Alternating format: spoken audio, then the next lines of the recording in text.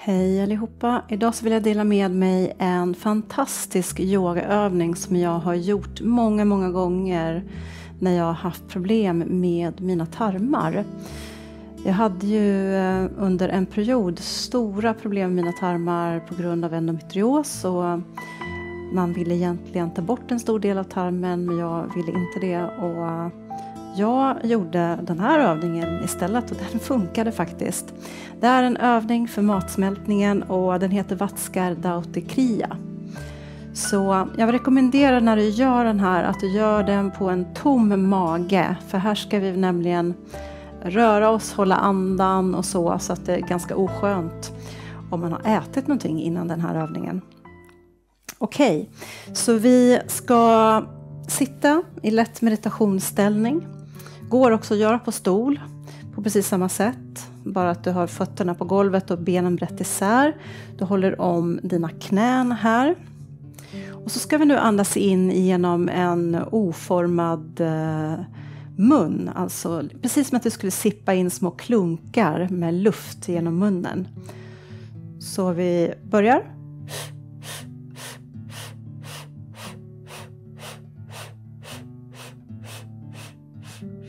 Och när det är fullt, då håller du andan. Och här ska vi börja rotera över kroppen i cirklar. Hålla andan samtidigt. Och du gör så många cirklar som du kan hålla andan inne. Och när du känner att du behöver andas ut, då stannar du upp. Andas ut genom näsan. Så det är hela övningen och det repeterar vi tre gånger. Så nu har vi gjort det en gång, så vi gör andra gången. Andas in genom munnen i små klunkar.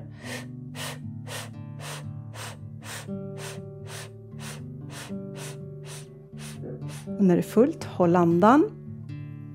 Och börja rotera över kroppen. Så länge som du kan hålla andan inne.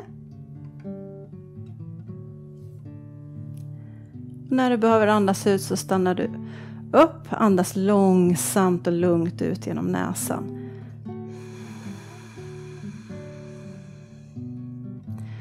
Sen den tredje och sista gången. Andas in genom munnen i små klunkar.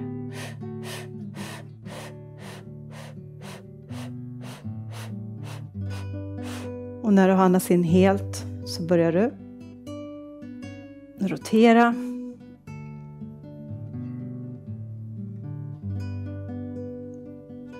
Och när du känner att du behöver andas ut så stannar du upp, andas lugnt och mjukt ut genom näsan.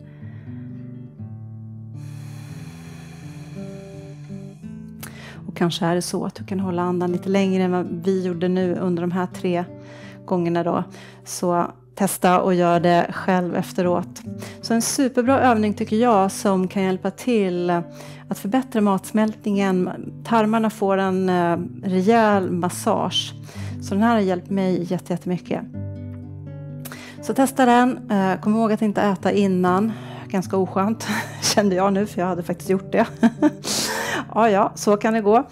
Kommentera jättegärna i kommentarerna så jag får höra från dig vad, hur du tyckte att den här övningen var. Och glöm inte att prenumerera på min Youtube-kanal så att du inte missar alla videos som kommer. Eh, flera, flera videos varje månad. Ha det gott allihopa. Vi ses snart igen.